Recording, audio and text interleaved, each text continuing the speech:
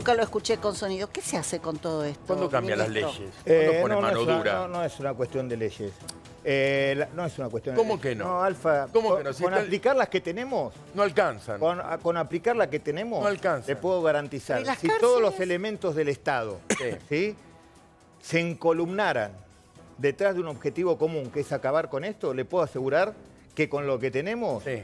Alcanza y sobra. ¿Quién es el que no lo problema, Si un el pibe de problema- 15 falta? años el me problema- mata a mí, ese pibe de 15 años en 24 Bueno, horas está afuera. eh, ¿Qué ley me protege a mí? Eh, bueno, me ¿Qué ley me protege? ¿Cuál? A ver, me- eh, Chiche me conoce y lo que digo acá lo vengo diciendo hace muchos años. Sí, una de las lo cosas que se hay que, dice, pero una de lo las que se cosas- hace- una de las cosas que hay que discutir es la baja imputabilidad de la edad de los de ¿Y, la- y de la cuánto edad de los hace que se discute? Bueno, ¿Quién No, no se discute, algo? no, eso es lo peor. No, no se No lo discute. dis- ni siquiera lo Por eso digo, todos, si todos los elementos del Estado se pusieran a discutir y a encolumnarse detrás de un objetivo, lo que pasa que... ¿Y por qué no lo- no lo porque es hacen? mucho Porque más están en fácil- campaña, no, es más permanentemente. Pero Sergio, si el ministro de Seguridad viene acá a decirme que no puede hacer nada, estamos perdidos. Yo no dije Exacto. que no se puede hacer nada. Usted me escuchó decir que no se puede hacer nada. Si Bueno, no, Que no se está hacer haciendo nada. nada. No, yo no dije que no se está haciendo Habría nada. que hacer esto. No, No, dijo no, que si no. se aplicaba No, todo. a mí me preguntó... Las leyes están. Si a mí viene un chico de lo que 15 pasa es años, me mata, está libre en 24 usted es horas. un chico de 15 años.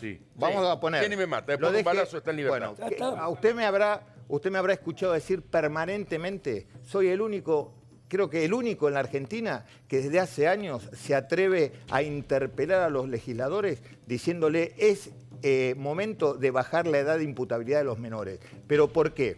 Yo vengo del peronismo.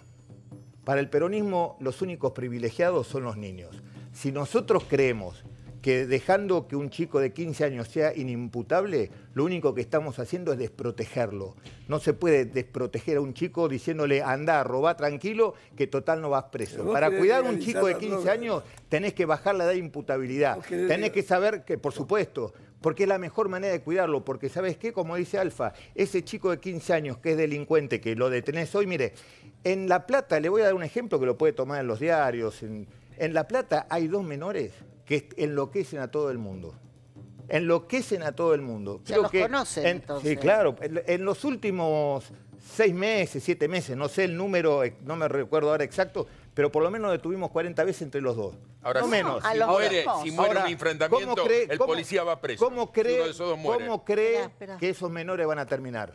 Esos, termino- esos menores terminan o matando o siendo muertos en un enfrentamiento. Entonces, ¿a usted le parece que podemos proteger a un menor diciéndole anda a delinquir tranquilamente que pero no, hay pasa de nada? ninguna manera. Hay Bueno, instituto de menores. Sí, pero no, el instituto del menor, mire, usted detiene a un No menor y se lo entregan automáticamente al padre. La Exacto. justicia lo que menos quiere hacer Y el padre es que no tener- Anda a ver si el padre no lo manda a robar ¿Qué es porque lo que es se llama, ministro? Bueno, ¿Qué es lo- lo que se ¿cómo? llama zona liberada? Se- se- No, pero no. ¿qué es lo cuando se habla que no, que- zona liberada- estamos zona- viendo a todos los vecinos que están en la calle y No, dicen zona esto es zona liberada, No, no, zona mire, liberada, porque no eh, está algo, protegido. No, la zona liberada, ¿qué es una zona liberada? ¿Qué es una zona una, liberada? una zona liberada es una metodolo- metodología donde la policía exprofeso se retira de un territorio y muchas veces en complicación, no muchas veces, siempre En complicidad en, con- en complicidad los-. ¿Cómo? eso, El barrio de las antenas. No, el barrio de las antenas es, es algo que no, no tiene nada que ver la realidad de lo que pasa con lo que vimos en la televisión, absolutamente nada de lo que, de lo que vimos. Mire, por, em- por empezar, eh, eh, fue una, toda la, la convocatoria mediática era porque había existido un terrible tiroteo entre bandas de narcotraficantes, Sí. algo que nunca existió.